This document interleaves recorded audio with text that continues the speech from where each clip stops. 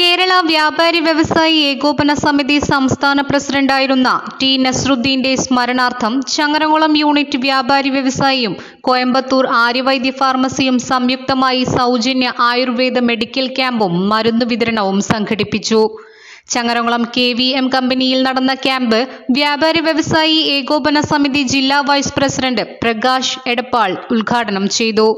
ജില്ലാ സെക്രട്ടറിയും ചങ്ങരംകുളം യൂണിറ്റ് പ്രസിഡന്റുമായ പി പി ഖാലിദ് അധ്യക്ഷത വഹിച്ചു.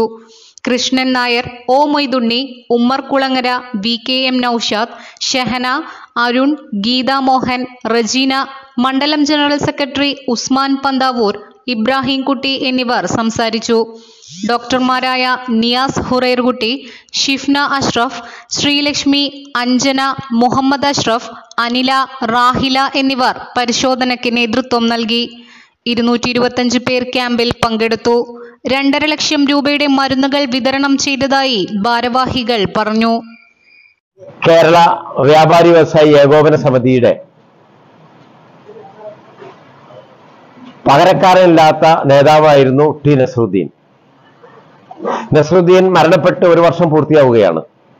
ഇതിന്റെ ഭാഗമായി വ്യാപാരി സമൂഹം അദ്ദേഹത്തോടുള്ള സ്നേഹം പ്രകടിപ്പിക്കാൻ കേരളത്തിലുടനീളം നിരവധി ജീവകാരുണ്യ പ്രവർത്തനങ്ങളാണ് നടത്തി വരുന്നത്. ആറര കോടി രൂപയുടെ വിവിധ റിലീഫ് പ്രവർത്തനങ്ങളാണ് ഈ മാസം അദ്ദേഹത്തിന്റെ നാമധേയത്തിൽ നടത്തി വരുന്നത്. ചങ്ങരകുളം യൂണിറ്റ് വ്യാപാരി വ്യവസായ ഏകോപന സമിതി ഇന്ന് ഇരുന്നൂറ്റി ഇരുപത്തി അഞ്ചോളം രോഗികൾക്ക് സൗജന്യമായി പരിശോധനയും മരുന്നും നൽകുകയുണ്ടായി.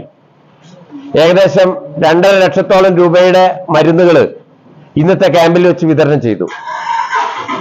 ഇതുപോലെ തന്നെ കഴിഞ്ഞ ദിവസം ഒരു വീട് നിർമ്മാണത്തിന് യൂണിറ്റ് കമ്മിറ്റിയുടെ സാമ്പത്തിക സഹായം നൽകുകയുണ്ടായി. രോഗം മൂലം കിടക്കുന്ന ചില വ്യക്തികൾക്കും സാമ്പത്തിക സഹായങ്ങൾ നൽകുകയുണ്ടായി.